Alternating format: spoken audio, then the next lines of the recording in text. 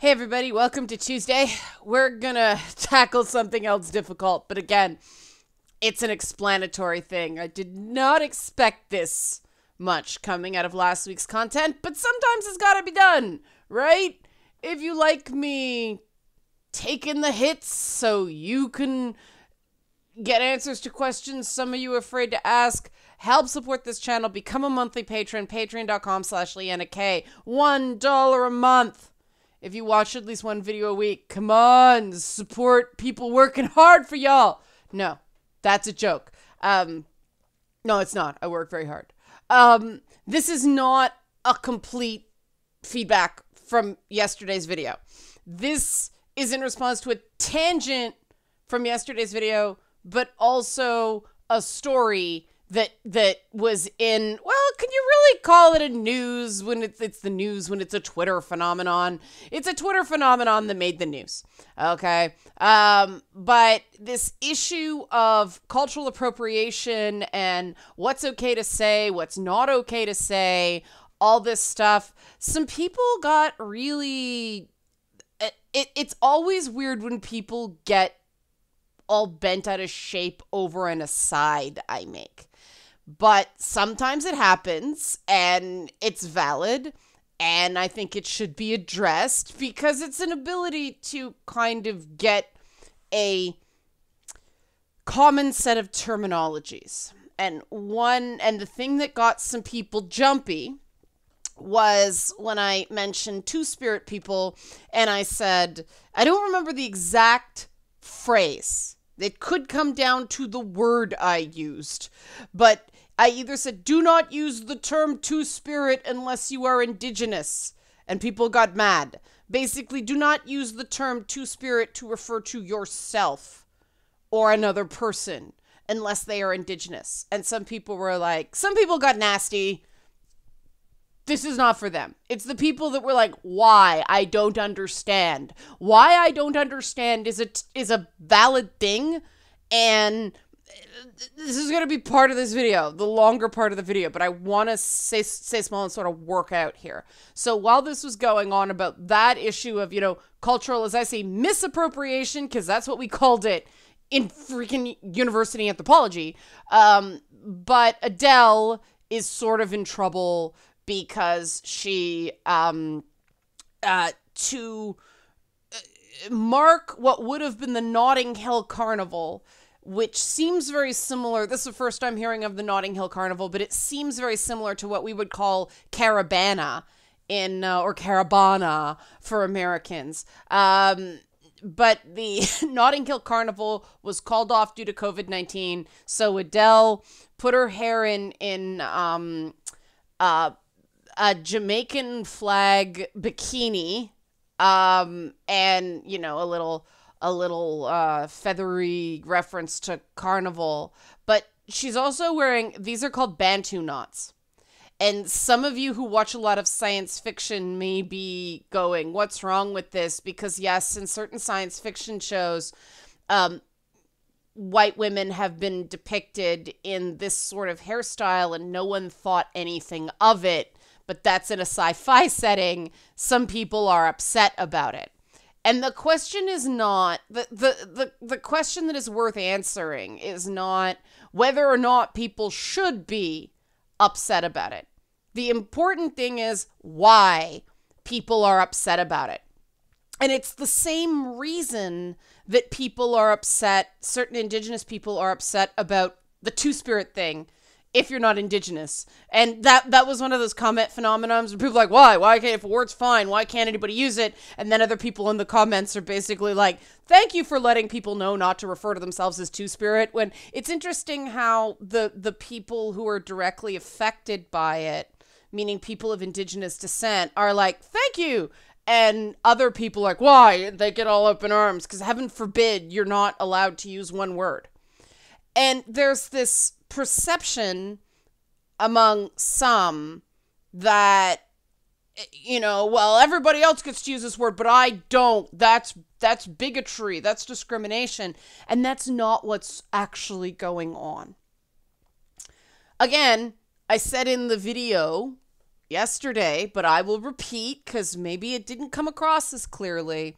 The term two spirit was created to, it, it's a catch all term that not all Indigenous people like, for one, but it was a catch all term to replace a slur used against Indigenous peoples for a non European Christian gender tradition, gender identity tradition.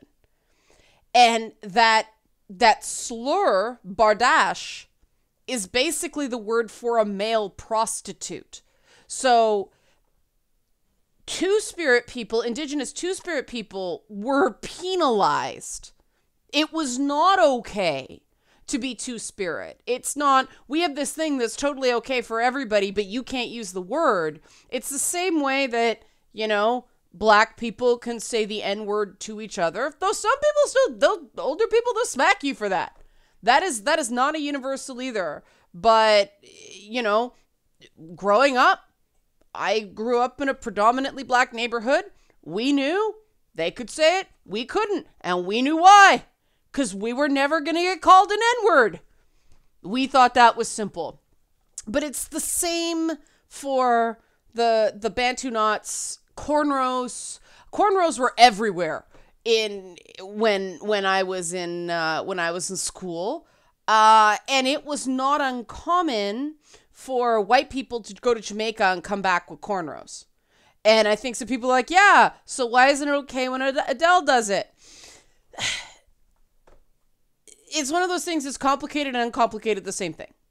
Much like Two Spirit replaced a slur, and much like Two Spirit people were were used and kind of held up up to show the the godless ways of you know indigenous pagan practices and and to, to show the rightness it's it's okay that we come over and and take indigenous people's stuff because they need to be civilized for their own good that was one of the things. So it's it's it wasn't it wasn't just a thing that people are appreciating.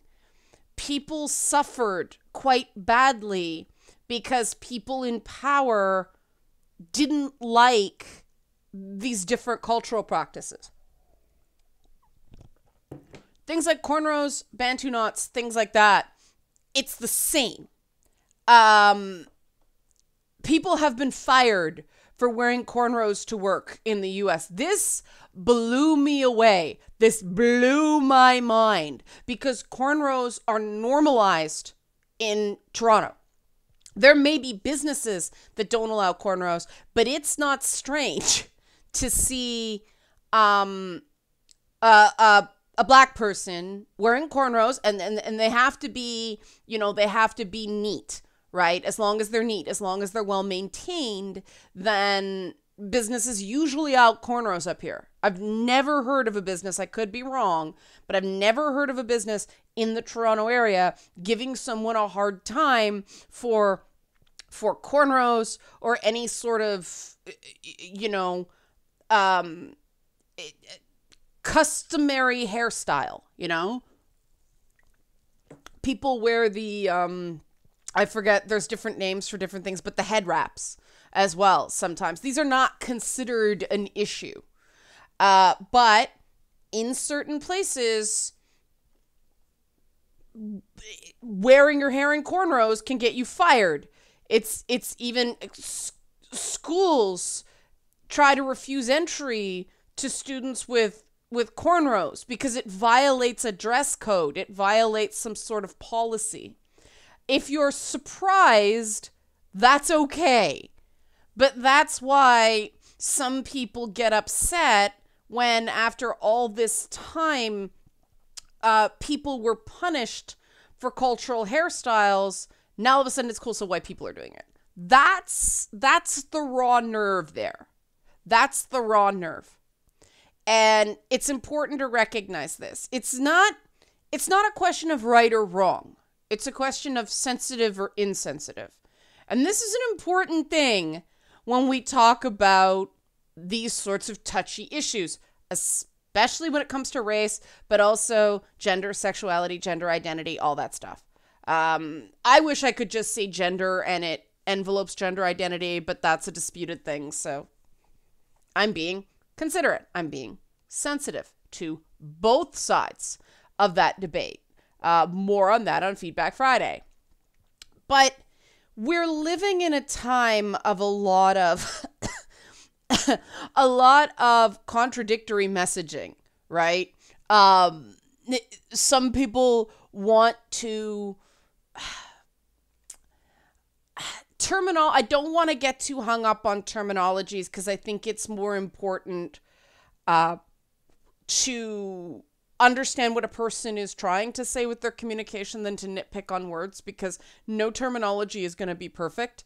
Um, I say this as somebody who's a heavily abstracted thinker, so words are just placeholders for different colored cloud bubbles. For me, it's like, oh, here's an idea. This is what we call this idea today. I don't necessarily call that idea that idea, but I can have an idea without having a name for it. Apparently, not everyone can do that. Now, I suspect a lot of people on this channel can. Um, because if it's like, oh, I have this idea, I don't have a name for it, I make up a name. That idea's name is Steve. You know, that idea's name is, well, Karen's taken, but you know, Annie, we're gonna name that idea Annie. What does Annie mean? It's just a placeholder name for that idea. It's code, right? Like you just set the name of the variable, and as long as you call that variable the same thing, everywhere the computer reads it, right? Right. Okay. Um but we now have this idea that certain phrases or certain terminologies are inherently aggressive even if somebody doesn't intend it as such. And we get into this microaggression idea. And I'm going to tell you guys right now I cannot stand microaggression theory because there's nothing micro about an aggression. And my issue with microaggression theory is it's lumping together two completely different behaviors into one classification. And you just the terms don't mean anything but when you're using the same term to refer refer to two separate things that drives my abstraction driven brain crazy. Because instead of individual bubbles. You you are muddying up my bubble. My little bubbles of idea you're you're you're violating my bubbles here. But i know this is weird. That's why they're abstractions. But you have the one behavior which is essentially people using deliberate dog whistles to tweak someone. It is a deliberate abuse of power. They're doing it because they can. They know what they're doing. They're being an asshole that's one bucket of behaviors. The other bucket of behaviors, actually, there's two more. The other bucket of behaviors is behaviors that are wrong, but the person doing it doesn't realize they're wrong and doesn't see it as wrong because they were raised to understand that this was actually being polite, right?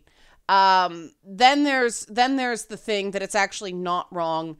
It's just a sensitivity some people have, and and that uh, I felt so bad for Rachel Maddow. I love Rachel Maddow, but one night of the R the the Trump National Convention, aka the RNC, um, Rachel Maddow went on at length about how well spoken this particular speaker who was a black woman who was pardoned by President Trump was. And she kept saying how well spoken this woman was and how well spoken this woman was. And I just could just imagine Joy Reid off air going, uh, Do you realize what you just said there? And I'm sure she felt terrible about it afterwards. Because that's one of those things. This is a clash of things. There's a sensitivity to that. Because it's this assumption thing, right? White people tend to praise each other by saying someone is well spoken. It's actually a classist thing in in British cultures because there are some accents that show you're you're well educated and or come from money. And then there's other accents that indicate you come from working stock and um you know, my, my stepfather, rest in peace, his accent was actually retrained as as he went through education. Uh, When when I met his his sister from from Stockport for the first time, like their accents weren't the same, and I was like, "Whoa, that's how language driven class in England works." So it's nothing of it for one one white person to another white person referring to each other as well spoken. And I never understood why it bugged me to be given that compliment. Because the tradition I came up in is that well spoken if somebody goes oh you're so well spoken. Why did you assume I wouldn't be? You know why? Cuz I'm a hood kid?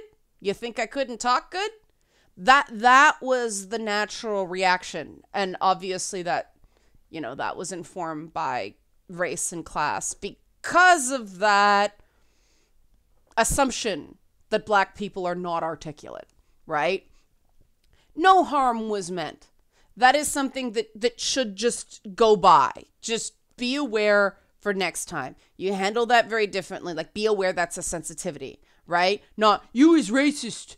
Um but then there's this other thing that I mean, the movie Clerks 2 handled so beautifully in the scene of I'm not going to repeat the term, but Jason Mewes, Mewes' character, uh, it was Jason Mewes, wasn't it? I think it was. Um, but you know, his grandmother used to use this term all the time, and it's a horribly racist term, and he kept repeating it because it was normalized in his family, and he didn't know it was bad. And everybody, uh, was it Dante, kept going, "Don't say that! Stop saying that!" You know, um, it, it was it was funny because I think a lot of people can relate to that, and that that is not just a a white culture thing. There is a real issue. Um, you know where where um, I grew up with certain older immigrant groups. So first sort of sorry sorry second and third generation Canadians but especially third genera- generation Canadian and back of any race doing things that you know it wasn't nobody kind of realized at the time was racist, but it was pretty racist to the newer immigrant waves, which were more likely Asian, Middle Eastern, and South Asian, right? Um, and there was no deep seated hatred, there was no lasting harm intended in that. It was an attempt to make light of difference, not realizing how hurtful it is because a lot of it had to do with an inability to be fluent in English, right? Or or accented language or something like that. I mean the the black kids were just as bad for that as the white kids were because no, nobody said anything. Um, eventually, somebody was like, you know, it's not it's not their fault. If you think their English isn't good, why don't you help them with their English instead of instead of making fun of them? And I was all for, yeah, okay, I'll help you read. I'm useful. Woohoo! It means I won't get beat up this week. I'm useful to somebody. That that is how I avoid getting getting beated up. And beat it up? That is how I avoided getting beat up in a very rough school. If you're useful, people leave you alone.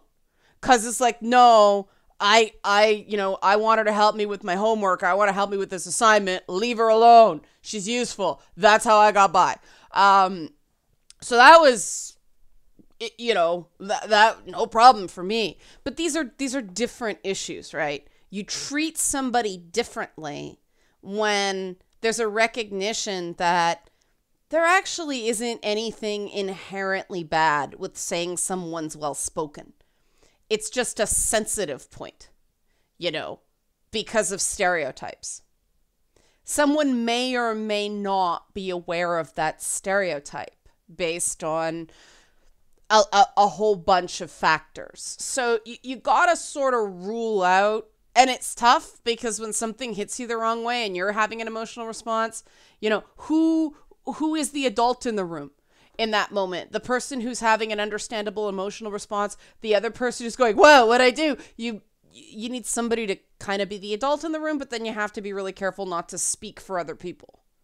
That's one management challenge and um you know, that I I learned how to get better. I'm still not great at it. It's a difficult skill.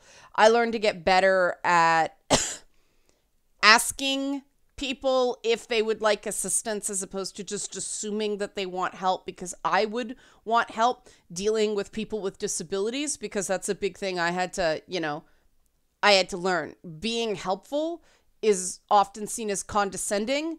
Don't give someone who who has a, a, visible disability help unless they ask for it. It's okay to say, "Would you like help? Would you like me to help you with this door or something like that?" And then they can say yes instead of always being the person that other people uh, need to do things for. And I know that's an empathy thing too, right? Because people would, most people would like, it'd be great if people were doing all this stuff for me. That's because you don't need them to, right? It's a different, it's a different framing. And understanding different framings is the core of this. Because then you get, you know, that other group of people who, and, and this is the tough one.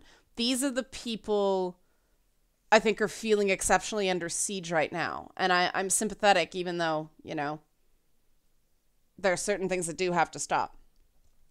People who were raised with traditions that do need to change because they do um, they do minimize the experiences of other people. There still needs to be a certain amount of kindness done because in a lot of these instances, especially when it comes to gender, but also certain other things, people think they're being nice by being more polite to women, nicer to women, you know, but that comes from the fact that women are weaker and more emotionally fragile than men. And that stuff drives me crazy. If I feel like somebody's going easy on me, it's an indication that they don't respect me. Now, I don't want somebody going harder on me either, right? Equality is equality. Um, and one of the things about visibility that we have to be super aware of if if there is somebody who is noticeably different, you know, one of these things is not like the other. Remember I was talking about yesterday, same and different. Um, they do tend to be more visible and they tend to get corrected more often because they are more visible. And that's something we have to be really super aware of. But again, if a person doesn't realize they're doing anything wrong, freaking out on them and calling them a bad person isn't going to do very much, right?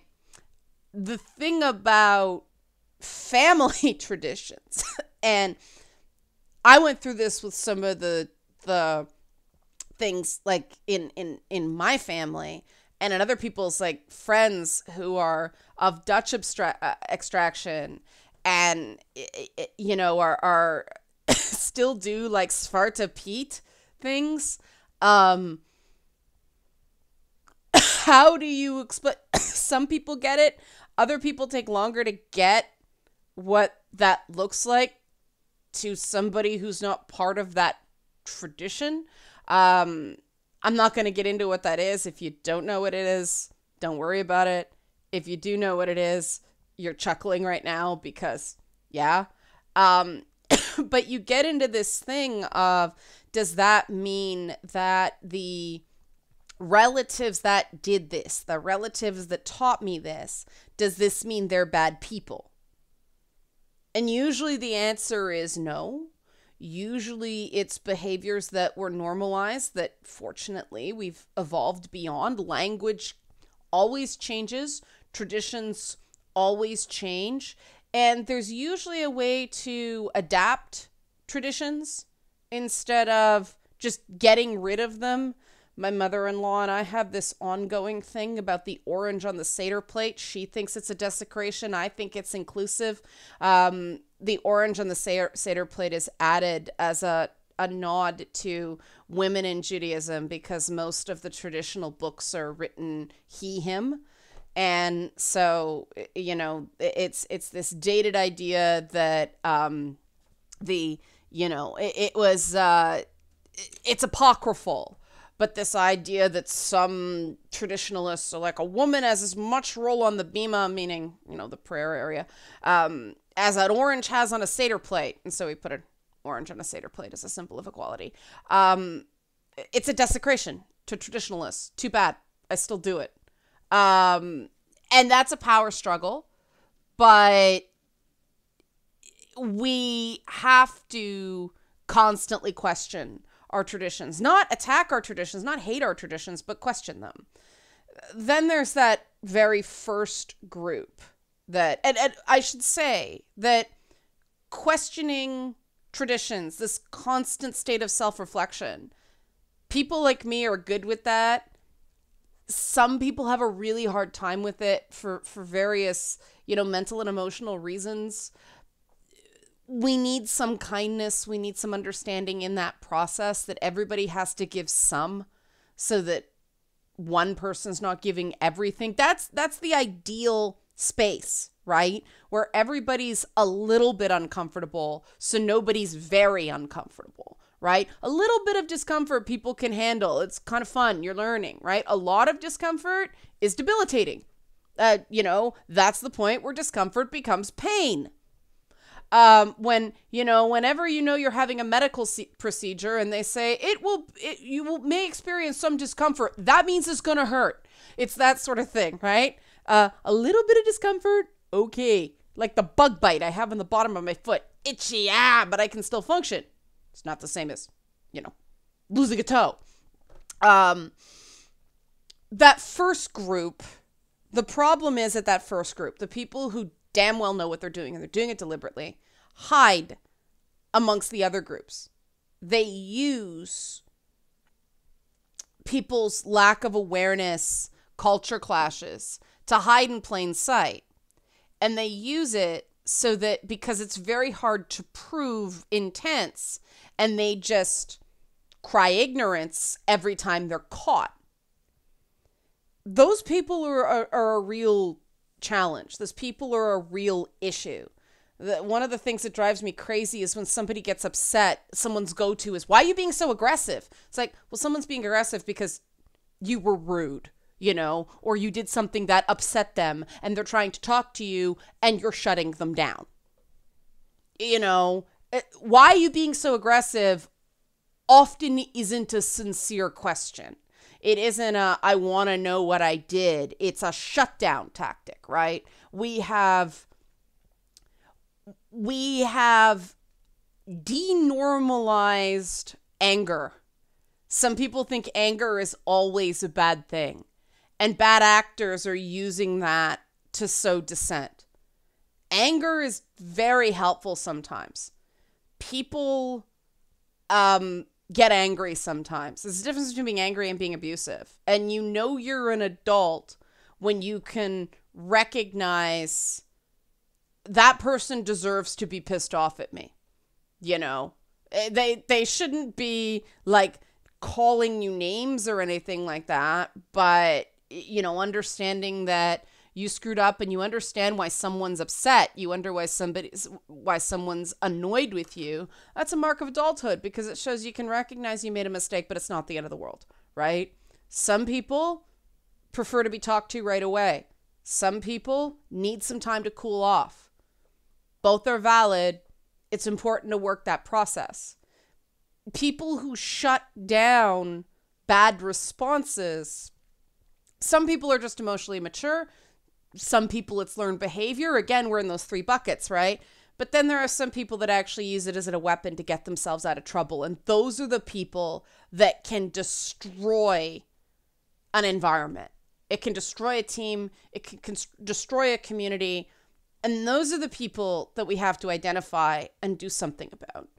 Those are the people that are very unlikely to change because they like starting trouble and increasingly, and and this is my question to you guys, what do you guys do when you have a friend who you know is a troll? They delight in upsetting people. It's it's a power thing. They like being able to get a rise out of people and and and you know I've asked a few people I know that are like that. I say, "Why do you do that?" And there are as many reasons as there are people. But these are people who, no matter what their reasons, are deliberately upsetting people.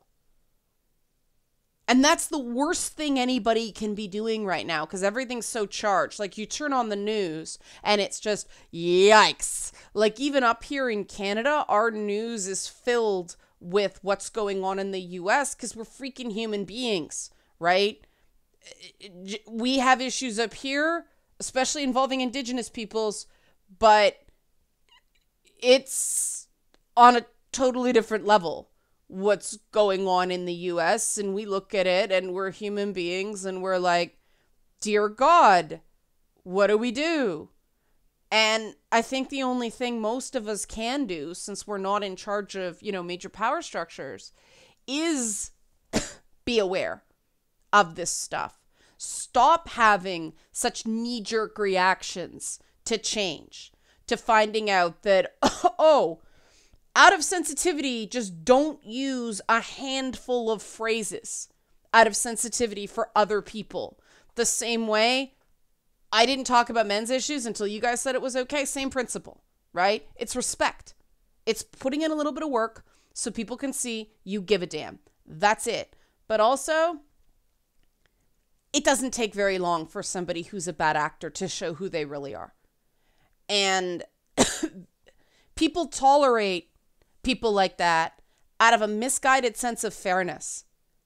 And either everybody gets treated with the zero tolerance anti racism thing, which doesn't work because it makes it harder to root out the truly bad actors, or they just, out of a sense of fairness, everybody deserves another chance, and then it's another chance, and then it's another chance, and it's another chance. And that's weak leadership. But of course, they they would rather have a discriminatory workplace or social circle than possibly have somebody be directly mad at them because they made a decision that the needs of the many outweighed the needs of this one person. They weren't willing to step up and say, no, I have to have this person hate my guts because it's the right thing to do. And that I find more frustrating than anything. As somebody who gets in a lot of trouble for doing the right thing, even when it's hard, this video is a shining example of that. Um, I do not get that sort of cowardice, and that's what it is. And do nothing leaders are going to have to be replaced because, hey, they did nothing on this situation that didn't involve you or may have gone your way. Imagine when you have a problem and they do nothing. Exactly. All right. Hopefully you found this video useful. Help support this channel. Become a monthly patron. Patreon.com slash Liana K. Thanks for watching.